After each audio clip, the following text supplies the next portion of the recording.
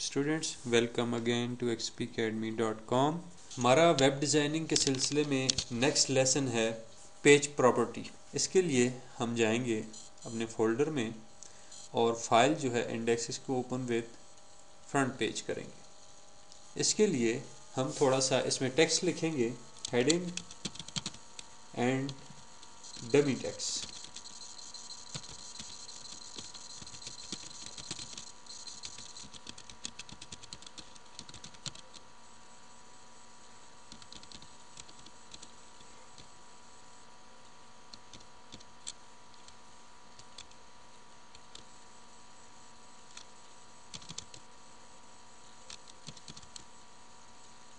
ये हमारे पास थोड़ा सा डमी टेक्स्ट है। पेज प्रॉपर्टी देखेंगे हम। राइट क्लिक करें पेज प्रॉपर्टी में जाएँ। सबसे पहले आपके पास जनरल में है लोकेशन आपकी फ़ाइल की लोकेशन ये है। उसके बाद है टाइटल टाइटल है आपका न्यू पेज वन कैंसिल करें और हम ज़रा इसका प्रीव्यू देखते हैं अपने इस पेज का। तो ये आपके पास प्रीव्यू है। अब देखिए आपका टाइटल किधर है? यहाँ पे हमें टाइटल कहीं भी नज़र नहीं आ रहा। New page one new page one आपका लिखा हुआ है यहाँ पे और दूसरा यहाँ पे टॉप पे ब्लू एरिया में पेज के। ये किस लिए है? ये ज़्यादातर जो यूज़ होता है, ये ह्यूमन बीइंग के लिए यूज़ नहीं होता, ये आपके वेब बॉट्स के लिए यूज़ होता है। सर्च इंजन के जो बॉट्स होते हैं, जो आके स्पाइडर्स जो आपकी वेबसाइट को देखते हैं और इसको पैनलाइज करते हैं आपकी कि किस टॉपिक से मतलब है आपकी वेबसाइट तो इसके लिए टाइटल का टैग इस्तेमाल होता है। इसके लिए ये बहुत ज़रूरी है कि आप अपनी वेब पेज जो भी पेज बनाएँ, उसके एक टाइटल दें। तो हम यहाँ पे इसे एक टाइटल देते हैं। दो तरीके से जा सकते हैं। राइट क्लिक करके यहाँ से भी आप पेज प्रॉपर्टी में जा सकते हैं और फ़ाइल में जाके और प्रॉपर्टी में भी जाएँ तो वो पेज की प्रॉपर्टी होगा। तो यहाँ पे हम लिखते हैं ऑनलाइन, उर्दू ट्यूटोरियल्स एकेडमी ये हमारे कॉम का एक डमी पेज है फ़र्स्ट पेज उसके लिए हम एक टाइटल चूज़ करते हैं ऑनलाइन ट्यूटोरियल्स उर्दू अकेडमी और इसको हम ओके करते हैं सेव और यहाँ पे जाके इसको हम व्यू देखते हैं इसका. रिफ़्रेश और देख सकते हैं आप। ये इसने यहाँ से भी चेंज कर दिया इसका टाइटल और यहाँ से भी चेंज कर दिया। अब हम मज़ीद प्रॉपर्टीज़ देखते हैं।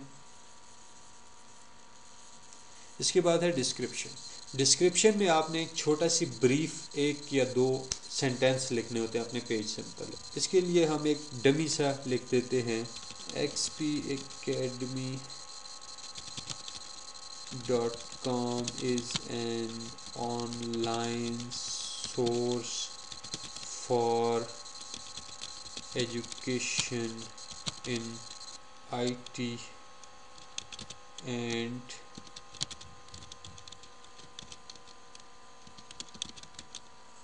software education या इस तरह से कुछ भी आप लिख सकते हैं।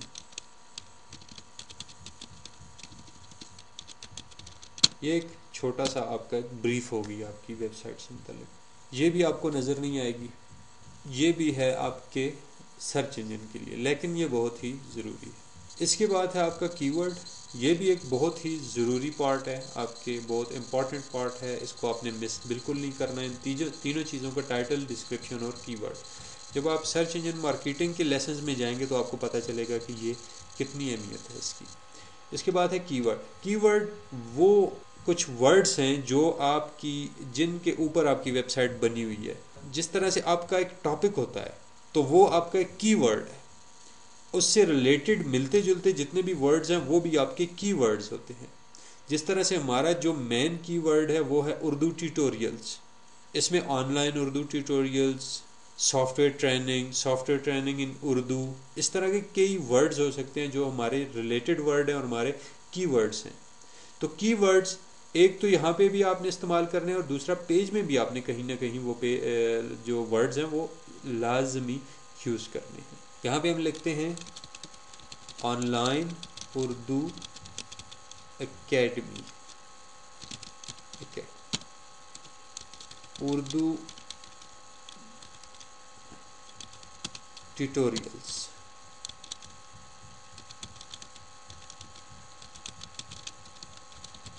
Urdu online. Online online Urdu travels इस तरह के मैक्सिमम आप पाँच से दस के दरमियान करें, ज़्यादा ना करें, क्योंकि वो आपकी रेपुटेशन को ख़राब करेगा ऑनलाइन आप अपने पेज के बैकग्राउंड में कोई साउंड भी दे सकते हैं, लेकिन ये एक पुरानी चीज़ है, इसको आप इस्तेमाल ना करें। फॉर्मेट में जाएँगे फॉर्मेट में हमने देखा है कि आप बैकग्राउंड पिक्चर इस्तेमाल कर सकते हैं अपने सारे पेज के लिए। ब्राउज़ करते हैं डेस्कटॉप में, अपने फोल्डर में हम जाके एक फ़ाइल है सनसेट ओके आपके पेज के बैकग्राउंड में एक पिक्चर आ चुकी है। पिक्चर इसके अलावा बैकग्राउंड में कलर भी दे सकते हैं कोई। Background colour let's pose this and this ये आपका बैकग्राउंड कलर आ गया।